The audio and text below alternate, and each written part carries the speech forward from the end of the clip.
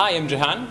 I've represented Sri Lanka in cricket, swimming, and water polo, but have been a keen follower of rugby from my young days.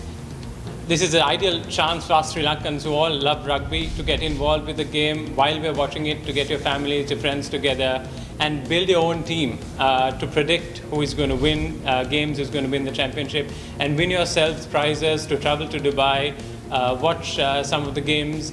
Uh, and like we do everything in Sri Lanka, I enjoy being a part of a team, uh, enjoy the challenges, enjoy predictions, being right or wrong. Get your teams together and make your predictions on this app.